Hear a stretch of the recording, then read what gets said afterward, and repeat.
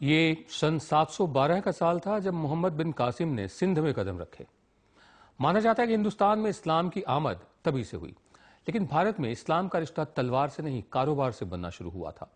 मोहम्मद बिन कासिम के आने से करीब 100 साल पहले हिंदुस्तान में पहली मस्जिद की बुनियाद पड़ी। करीब 1400 साल पुरानी वो मस्जिद अभी तक कायम है। याद दिलाती हुई कि हिंदुस्तान में कितनी तहजीबों, कितनी आस्थाओं का पानी आता जाता बसता रहा है। आज भारत माँ के झोले से केरल की चरमन जुमा मस्जिद।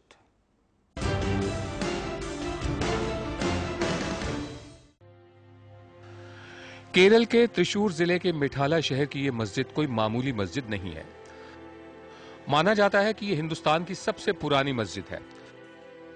इस चेरामन जुमा मस्जिद को छह ईस्वी में बनाया गया। यानी हज़रत मोहम्मद के गुजरने से तीन बरस पहले।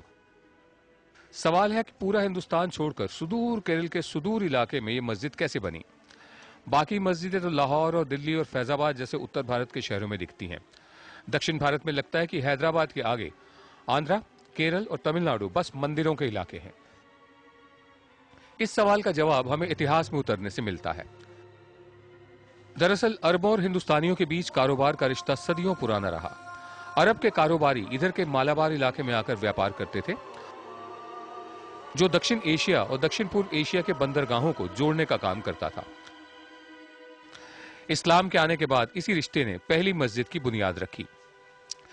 कहा जाता है कि यह पुराना बौद्ध मंदिर था, जिसे तोहफे में अरब के लोगों को दे दिया गया। कहानियाँ और भी हैं।